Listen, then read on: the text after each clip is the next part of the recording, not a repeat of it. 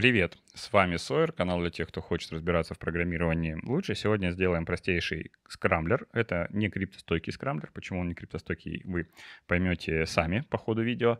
А, тем не менее, э, интересно будет э, новичкам или людям, которые интересуются хоть немножко э, криптографией, понять базовые основы того, как, а, собственно, строится шифрование симметричное, как используется функция XOR и почему она не обладает криптостойкостью, как многие думают, а на самом деле криптостойкостью обладает э, ключ. Ну и в конце будет э, небольшое задание, которое позволит вам бесплатно получить подписку, платную подписку стрим на архитектурные стримы, которые у меня публикуются на сайте Soar Pro.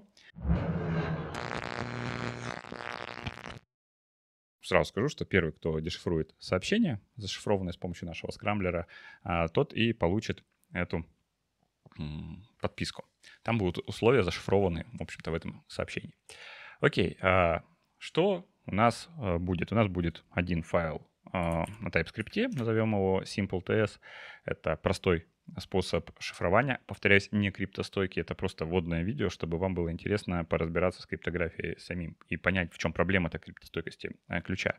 Ну и во второй части экрана мы будем смотреть на результат выполнения этой функции э, по мере написания кода. Значит, э, процесс шифрования будет чрезвычайно простым. Он будет реализован с помощью XOR функции. У нас будет, соответственно, сообщение — оно будет э, через XOR накладываться на ключ и будет э, получено зашифрованное сообщение. А, насколько вы знаете, XOR замечательно тем, что это симметричная функция, соответственно, далее мы можем взять э, наше криптосообщение, вот так вот, наложить его на, снова на ключ, на тот же самый ключ, и получить оригинальное сообщение message. То есть в этом смысл э, симметричного шифрования. Соответственно, ключ является секретом, который нужно хранить. И вот если ключ недостаточно криптостойкий, то шифрование не является криптостойким, его легко взломать и легко дешифровать э, сообщение. Поэтому, вспоминая про шифр Вернама, здесь не стоит его приплетать, это вообще не из той области. Значит, э, нам понадобится, соответственно, ключ. Ключ мы будем делать э, не сами. Мы сделаем как раз функцию генерации ключа на основе э, random. Random будет не криптостойкий, поэтому и ключ будет не криптостойкий. Сейчас вы все поймете почему. Поэтому давайте начнем с того, что сделаем э, свою функцию, которая будет генерировать массив случайных чисел с помощью лентного, линейного конгруентного метода. И про него я уже как-то делал видео, поэтому давайте я просто э, начну писать код. И надеюсь, станет всем гораздо интереснее. Значит, делаем function, которая называется random array. У нее есть э, длина, ну, пускай дефолтная будет 10, и нужен seed, да, ну, пускай он тоже будет у нас числом, и начальник, пускай с двойки начинается, соответственно, результатом будет э, массив чисел. Окей, так, а, теперь приступаем непосредственно к реализации нашего а, метода, линейного конгруентного метода. Он очень просто реализуется, там есть несколько констант, константа А, С, 21, и присваиваем. Вот эти числа 45, 21 — это числа из таблички для линейного конгруентного метода, потому что они дают как раз а, возможность генерировать цепочку, длинную цепочку неповторяющихся чисел, которые э, закольцованы между собой. То есть нужно почитать про этот метод, чтобы понять лучше, почему именно такие числа. Ну вот для нас пускай это будут магические числа, которые должны быть. Это одни, одни из многих чисел. А дальше возьмем ну, длину, например, максимальное значение m128. И, собственно говоря, а, делаем саму функцию rand. А, она выглядит следующим образом. seed Э, у нас a умножается на seed, добавляется c, и по модулю берется m. Соответственно, а, здесь легко понять, что в данной функции максимальное значение будет 127. Э, и, соответственно, 127 случайных значений, не повторяющихся, мы сможем с помощью нее получать. Это ограничение, которое вот за счет нашего модуля э, достигается. Так как нам нужно вернуть массив, давайте его и вернем. Значит, он будет длиной L, э, запомнил, заполним его начально нулями, а потом, собственно говоря, э, пробежимся рандомом. Проверим, а, что все работает. Для этого мы сделаем random array, ну, допустим, 5 чисел в нем будет. Никакой seed мы задавать не будем. Давайте проверим, что все работает. Так, да, вот э, в правой части у нас появилось 5 случайных чисел, псевдослучайных. Ну и чтобы показать, что у нас все это закольцовано, вот смотрите, если мы берем здесь, ставим единицу, у нас первые, а, извините, чисел-то 5, а сит единицу.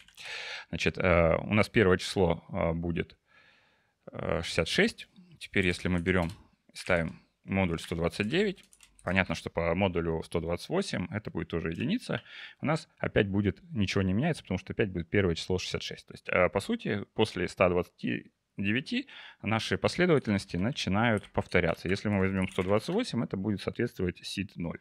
Те же самые числа будут. Вот вы видите это на экране. То есть таким образом мы получили некую последовательность случайных, псевдослучайных чисел, которые мы будем а, использовать в качестве ключа. А, дальше. Мы хотим сделать э, сообщения, которые будут выводиться на экран, поэтому нам нужно использовать только те символы, которые могут быть, печатные символы, которые могут быть а, выведены на экран. Поэтому давайте мы введем свою кодировку, назовем ее charset. И вот, собственно говоря, последовательно все символы латинского языка введем для начала.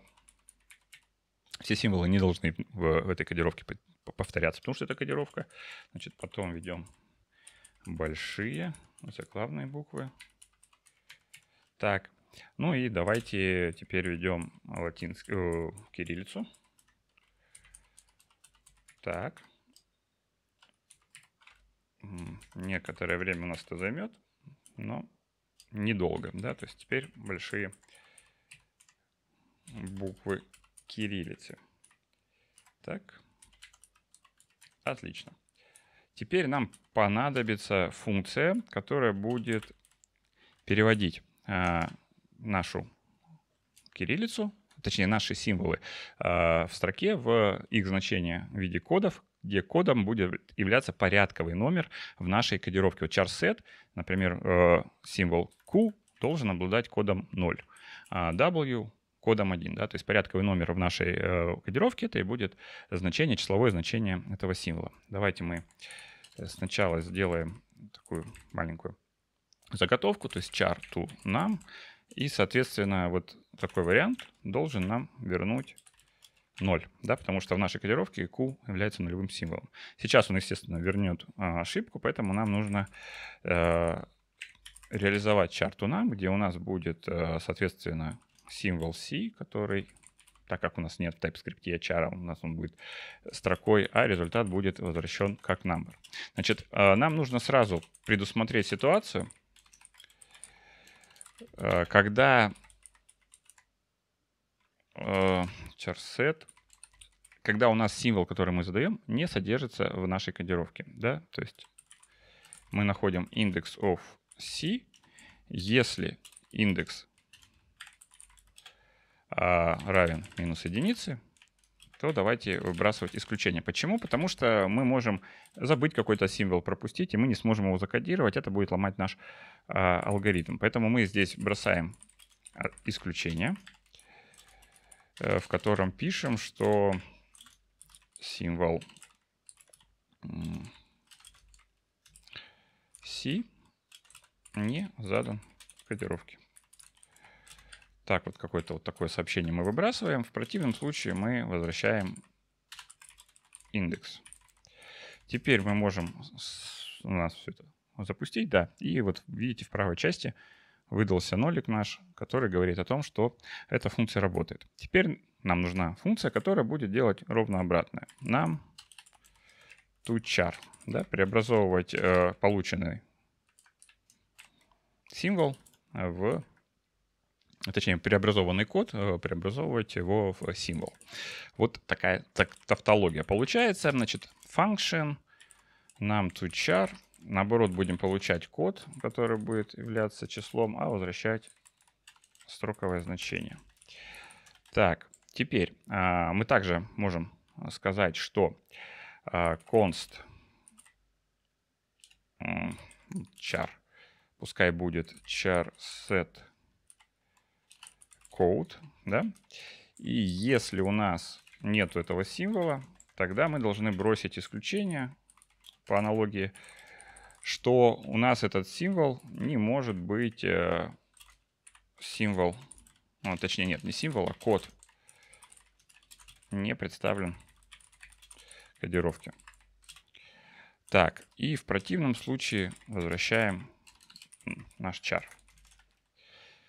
Так, сохранили, и вот сейчас на экране должно появиться Q. Все правильно. Ну, если мы, например, сейчас возьмем какой-нибудь пробельчик, сохраним, его нет в нашей кодировке, это печатный символ, вот у нас, собственно, э, выдается сообщение, что символ, так как это пробел, он никак не обозначен, а его не видно, ну, можно в кавычки это взять. Давайте так вот сделаем. В кавычки возьмем, чтобы э, стало понятно, что символ-то есть, да, просто его не видно. Сейчас кавычки появятся и станет заметнее, что символ не задан. Ну, соответственно, мы, если хотим теперь, чтобы он появился, давайте мы его возьмем и добавим. Ну, давайте еще добавим до кучи э, цифры и пробел. Вот, вот такая у нас а, получилась кодировка. Окей, теперь у нас а, все а, хорошо, символ пробела не виден, но теперь у нас мы можем любой символ, собственно говоря, а, закодировать. Ну и, соответственно, если у нас появляется желание сделать два символа, три символа, а, то будет ошибка, потому что индекса не найдено, и, соответственно, символ 122 не задан в кодировке. Все нормально, отлично. Наши символы работают, и давайте вернемся к обозначению Q, чтобы а, у нас все было как и задумано. Так. Не надо большую Q, надо маленькую Q. Отлично.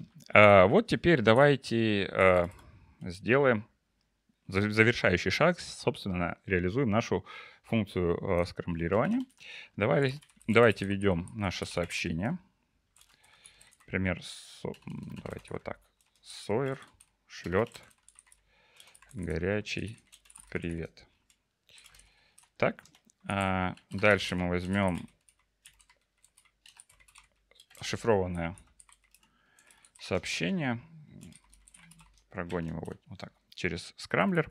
И вот, собственно говоря, что нам нужно, э, чтобы получилось? Нам нужно, чтобы сообщение вывелось, потом вывелся его шифрованный вариант. Так, и потом нам еще один консоль лог, хитрый э, э, скрамблер, который шифрованное сообщение принимает на вход и, соответственно, должен вывести наше сообщение на экран. Вот у нас пока выводится ошибка, потому что у нас, э, потому что у нас, так, function, scrambler, message, string, э, ну и пускай будет база, там, не знаю, 31, result тоже string, это будет использоваться в качестве э, базы для сида да, то есть мы можем шифровать с разной базой и, соответственно, получать э, разные ключи. Окей, а, значит, давайте теперь, что нам понадобится? Нам непосредственно понадобится ключ, который, как я уже сказал, мы будем получать из random array. Длина этого ключа будет по длине сообщения, а seed первоначально будет браться из базы. Отлично. Теперь э, нам нужно получить э, char-коды, да, ну, давайте сокращенно их просто codes назовем, codes, а, это будет из сообщения, мы его разделим на символы и прогоним нашим а, char to num. Да? То есть мы получим а, набор кодов, символов, которые входят в наше сообщение. Сообщение должно быть, соответственно, представлено нашим алфавитом, нашим чарсетом. Окей, здесь возникает еще момент, что у нас теперь количество символов в чарсете это есть то, а, те значения, которые, максимальные значения, которые могут присутствовать в ключе. Да? То есть char set length — это и есть э, модуль нашего случайного числа. А, для этого давайте мы его, наверное, выведем на экран. char set length, чтобы знать, какой модуль у нас а, у нашего а, алгоритма генерации случайных чисел. Теперь, собственно, когда у нас есть ключ, у нас есть коды, мы теперь можем вернуть результат. Значит, напоминаю, что мы к нашим кодам применяем ключ через XOR. Каждому коду отдельно. Соответственно, код map, code. Дальше нам нужно нам to char. А, нам to char а, преобразовать для code XOR k. Да, нам нужен еще индекс, потому что у нас ключ это просто массив чисел. Поэтому нам нужен еще индекс в этом массиве. Так. А, теперь мы это сделали, и теперь нам нужно все сджойнить. Да, то есть получить строчку. И тогда у нас скрамблер должен заработать. Отлично. И вот что мы а, находим, что символ 0 не задан в кодировке. А откуда? Да, у нас есть в Sawyer 0, действительно. А, нехорошо получилось. Мы каким-то образом пропустили нолик. Ну, давайте его вот сюда в конец и добавим. Так, отлично. Нолик мы добавили. Все. Вот наша э, кодировочка заработала. Sawyer шлет горячий привет. Вот вариант закодированный. Вот вариант декодированный. Как вы видите, э, все выглядит очень-очень прилично. И э, у нас с вами в алфавите 127 символов. Прямо очень хорошо. Но вот теперь давайте мы к этим символам добавим, добавим еще спецсимволы. Мало ли нам понадобится. А, там вот так вот вопросик, запятую. Вот Допустим, такой набор символов. Там еще есть плюс-минус. И вот смотрите, что происходит. А, у нас теперь э, в кодировке, здесь сейчас не показывается, но а, у нас в кодировке больше 120 символов, но меньше 158. Вот, к сожалению, давайте попробуем закомментировать, чтобы стало это более понятно. Да? Давайте вот, наверное, вот это вот закомментируем, чтобы нам вывелся только размер нашей кодировки. В ней сейчас сколько получается? Так, что, что не обновляется? А, ну да, вот, вот, вот, вот здесь вот, этот скрамблированный вариант, он нам тоже не нужен. А, смотрите, у нас 140 символов кодировки, а в результате XOR получилось больше. Вот до этого у нас все было замечательно, потому что 127 символов — это оптимальное значение. Вот по какой причине. Давайте рассмотрим двоичный, двоичное представление. Давайте я здесь вот этот, эту часть экрана сделаю э, более черной. Значит, смотрите. А, представьте, что у нас есть символ, у которого значение 1, 0, 0. Это восьмерка. И есть символ, у которого значение 3 единицы. Это семерка. Теперь представьте, что у нас всего 10 символов, и это будет значение 1, 0, 1, 0. То есть 1, 0, 1 это 10, то есть у нас всего 10 символов. Это у нас 8 код, это у нас 7 код, меньше 10. А теперь, когда мы их наложили друг на друга, мы получили код аж 15, да, по-моему, если я не ошибаюсь, это должно быть 15. 3, 7, 8, да, это 15.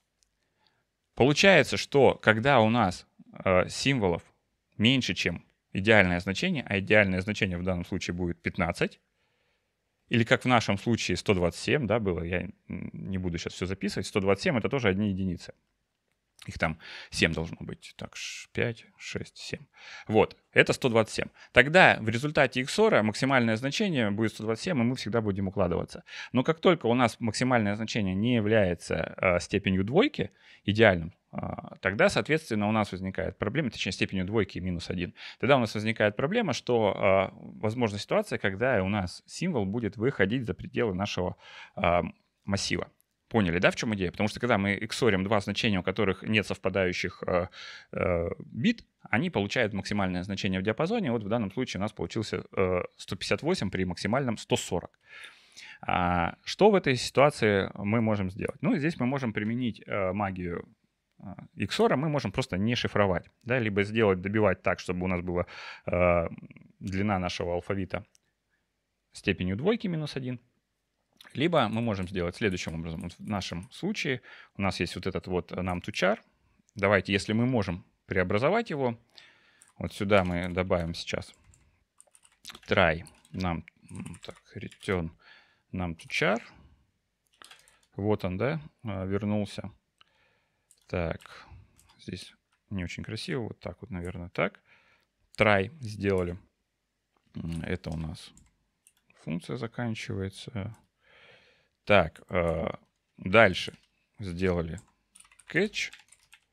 И если у нас а, мы выскользнули, выскользнули за диапазон, тогда мы возвращаем нам to char просто того кода, который есть. То есть мы не шифруем. И как вы понимаете, раз мы не шифруем, тогда в следующий раз мы сюда передаем снова код, он снова накладывается на ключ, снова получается значение за пределами нашей кодировки, и он снова вернет нам, нам to вернет нам а, наш символ. То есть этот символ не будет кодироваться. Не будет кодироваться. Так, э, если я ничего не напутал. Так, коды map. Так, так, так. Так, так, так. Здесь я напутал со скобками. Нам нужно вот эти скобки вернуть. Так, вот эту вот скобочку закрыть. Тын-тын-тын. Что не так? Так, функция закрыли. Я здесь чего-то напутал, да? Так, try catch, return. Это return нам to char. Так, где закрывается? А, вот, вот, вот, вот, вот, вот этот я не вижу. Джойна здесь не надо. Он должен уйти сюда. Вот, все, нашли ошибку. Вот так. Теперь снова шифруем. Все. И все э, замечательно у нас зашифровалось, за тем исключением, что у нас не шифруется неудачным образом размещенный пробел. Видите, у нас э, все пробелы в нашей последовательности, вот они, они сохранились. И нам это не нравится. А, что мы можем сделать? Мы можем, ну, например, поменять в данном случае э, базу шифрования. Мы везде использовали 31. Ну, давайте поменьше поставим базу. Начнем с меньшего значения. Что будет тогда? Тогда, по идее, у нас э, должен сгенерироваться другой ключ. Сейчас мы вот так это сделаем. Должен сгенерироваться другой ключ. Так. И. И пробел сохраняется. Сейчас я посмотрю еще раз, может не сгенерировалось. Так, R14. Пробел сохраняется. Как неудачно он сохраняется. Окей. Значит, если у нас возникает такая ситуация, она возникает по одной простой причине. Он стоит на последнем месте у нас этот пробел. Поэтому давайте э, его замаскируем, поставим на первое место. И тогда э, добавлением. Видите, там надо смотреть двоичный код 140. Скорее всего, он еще там с единицами, с нулями не очень интересно э, совмещается. Ну и вот так уже гораздо лучше. Смотрите, что у нас получилось. У нас получилось беспробельное значение. Пробел мы спрятали в самом начале. Соответственно, у него нулевой код. И, соответственно, он вообще не шифруется. На него накладывается только значение ключа. И, собственно говоря, какое оно есть, у нас пробелы здесь, в принципе, должно... Э, он должен появляться только когда у нас 0 накладывается на 0. Все здорово. Все здорово. Теперь у нас появляется некая строка, она шифруется в другую строку, которая потом замечательно все дешифруется назад. Отлично. Мы сделали э, шифратор. Вот теперь э, к тому заданию, о котором я говорил. Как вы понимаете, это очень не криптостойкое э, шифрование. Оно основано на линейном конгруентном методе, и его очень легко взломать. Вот прямо очень легко. Особенно с учетом того, что мы сейчас зашифруем а, семантически корректную фразу, то есть она будет содержать смысл. И, а, соответственно, поэтому это шифрование будет легко взломать. Соответственно, первый, кто взломает и прочитает инструкцию, зашифрованную инструкцию и выполнит ее, получит, как я уже сказал, на моей платформе sawyer.pro а, доступ, платный доступ к архитектурным стримам. Их там порядка уже 30, почти там 27. А, и этот доступ будет совершенно бесплатно. Если вам интересно продолжить эту тему шифрования, потому что, например, сейчас у нас все шифрование строится на том, что известен чарсет, да, то есть вот я его не скрываю, я его показываю, соответственно, его легко взломать. Но если бы он был неизвестен, а, то насколько сложнее либо проще было бы э, взломать этот шифр, основанный на линейном конгруентном методе. Об этом можно поговорить в отдельном видео. Если будет много комментариев с просьбой и с мыслями а, что еще можно по этой теме рассказать, то я сниму видео. А на самом деле, если даже этот э, чарсет скрыть, э, есть нюансы, которые не делают более защищенным этот метод, а точнее, он становится более защищенным, но не настолько, чтобы стать э, сопоставимым с нормальными методами шифрования. Сейчас будет в конце э, зашифрованная фраза, э, и она же будет в первом комментарии к этому видео.